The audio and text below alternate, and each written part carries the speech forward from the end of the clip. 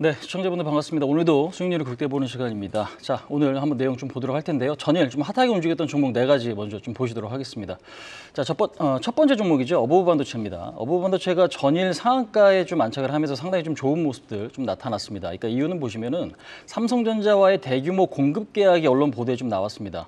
3천만 개에 달하는 MCU 공급 계약이 있었다라고 하는데 일단 공시에는 좀 나오진 않았어요. 다만 이제 일부 언론에서 좀 나왔고 이 부분이 시장에 좀 호재로 어, 작용하는 모습들.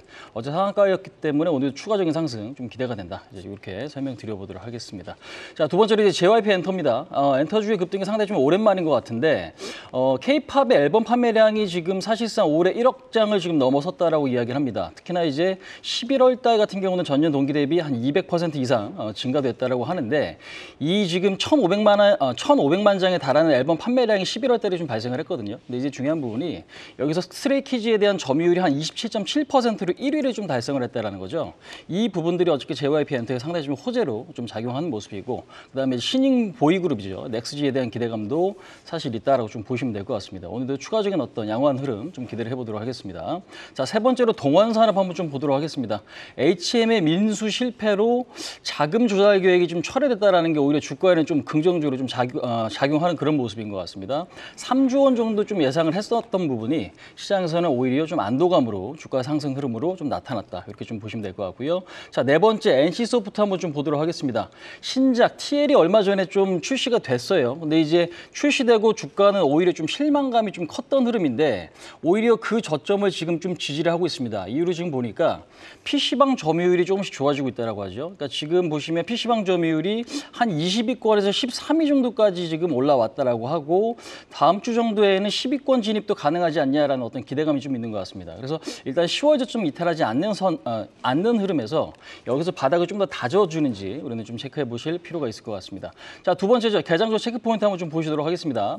오늘 투자자분들이 가장 궁금해하실 이슈가 아닌가 좀 생각이 됩니다. 오늘 국회 본회의가 좀 예정이 되어 있는데 예산안 논의 다음에 발표될 게 이제 대주중 기준 발표 예정이 있거든요. 근데 이제 여기서 어떤 발표가 있을지는 우리가 좀 지켜봐야겠지만 뭐 30억으로 될 거냐, 지금 현재 10억이 30억으로 될 건지 50억으로 될 건지 아니면 그 이상이 될 건지는 좀 지켜봐야 될 것 같습니다. 다만 이제 시간이 우리가 보통 국회 본회의가 진행되는 시간이 오후 2시거든요.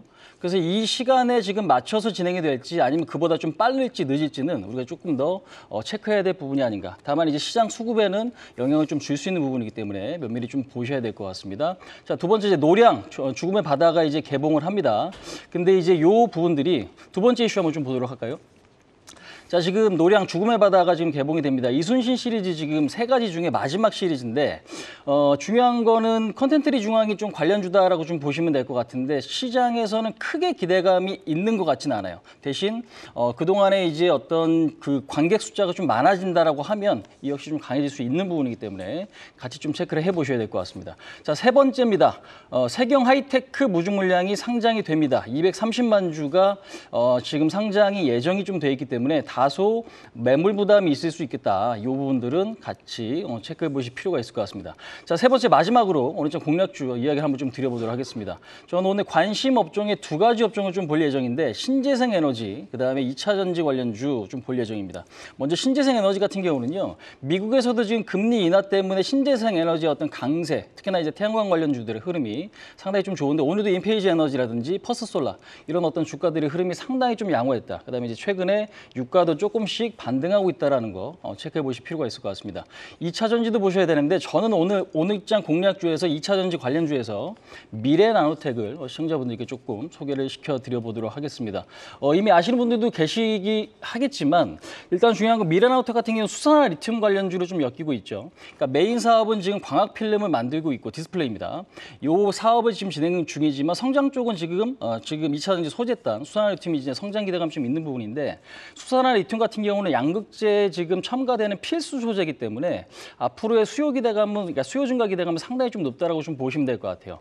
다만 중요한 건 아직은 업황이 지금 바닥을 찍었다라고 보기는 어렵지만 시장이 지금 어느 정도 신재생 에너지 관련주에 대한 부분들 그다음에 2차 전지 관련주들이 지금 사실상 대주주 요건이 완화가 됐을 경우에는 어, 2차 전지 관련주들의 흐름이 상당히 좀 좋을 것으로 좀 기대가 됩니다. 그렇기 때문에 현재 시점에서는 미래 나노텍 같은 어떤 성장주 탄력 좋은 종목들을 어, 관심 있게 좀 보셔야 되는 이유가 아닌가 이렇게 좀 말씀드려보도록 하겠습니다. 그래서 오늘 일단은 목표치는 19,300원 정도 좀 설정을 하시고요. 손절 라인은 지금 현재 보시면 16,500원 정도 설정하고 좀 대응을 하신다면 그래도 시장보다는 조금 더 나은 어떤 흐름을 보일 수 있는 만 어, 보일 수 있을 만한 위치가 아닌가 이렇게 좀 설명드려보도록 하겠습니다. 자 이상 좀 설명 마치도록 하고 오늘 좀 성투하시기 바라고 지금까지 홍기진이었습니다.